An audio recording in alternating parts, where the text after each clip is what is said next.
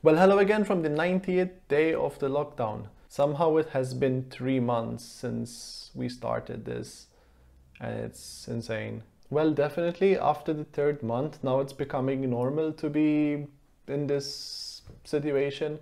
Now that we are allowed to go outside, go to restaurants, theoretically go back to work, things have changed a bit, I guess. Since Wednesday, I started going back to the office, and it's been at least good. At the moment, only two colleagues are coming to the office and they're a couple, so the risk is extremely low because they spend most of their time together. But yeah, so far being back to the office has been really good. And being able to have breakfast outside was a nice upgrade. After how many people died from this disease, it's still a little bit sad that some people are not taking it seriously and just think that it's just like the flu and they don't care if they get it.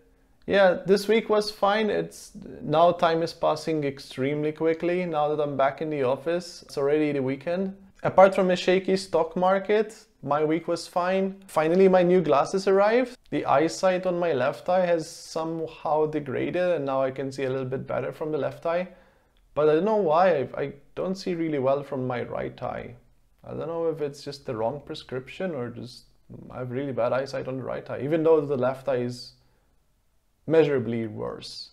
We're also going to restart the COVID data analysis. We have one more month of data since the last time we processed it. And we also plan to do more cities, which will give us a little, a little bit better understanding of the situation. Yeah, I guess I'll get started on this and uh, I'll see you on Monday.